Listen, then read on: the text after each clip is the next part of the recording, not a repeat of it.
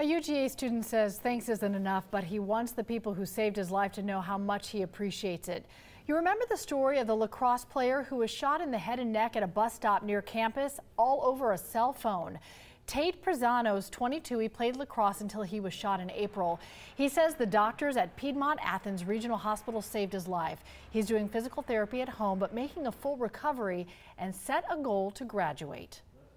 I want to graduate. Uh, obviously, I wasn't able to um, take classes or anything this summer, um, so I, or do an internship or anything like that. So again, this kind of helped keep my mind off of it and kind of, I guess, prepare me for a workload of class. Um, so I'm taking 16 hours right now. Um, taking. He looks good. He started a foundation called Tate Tough, a scholarship fund for student athletes.